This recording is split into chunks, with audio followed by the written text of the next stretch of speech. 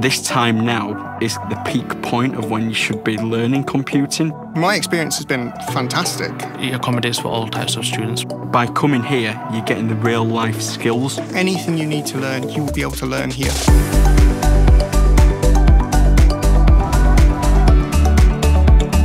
Our main thing is to make sure that after this course, you either go into the industry or you're still in the subject area no matter what avenue you go down.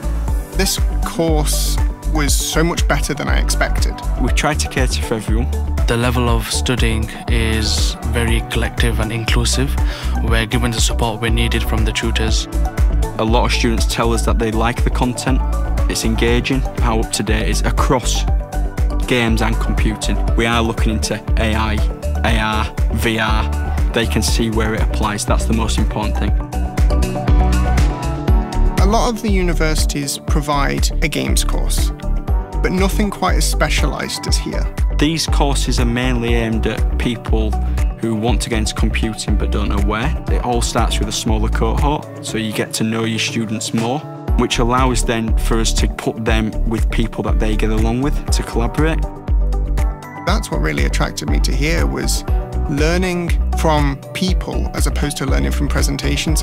Level 4 and Level 5 are foundation degree. If they then choose to come on to Level 6, they have two qualifications. The tutors here are constantly researching. You learn from these guys who really have experienced it. They provide very good one-to-one -one support anytime, every time.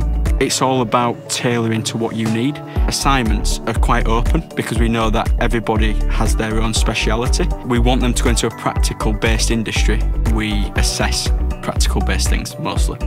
They get to cater the learning to me and to the rest of my cohorts. By speaking to them in tutorials and getting to know them, and with the assignments being very open, if you meet in the middle, you get something that a student wants to work on because that they're inspired by it. It's so much more personal, it's so much easier to learn.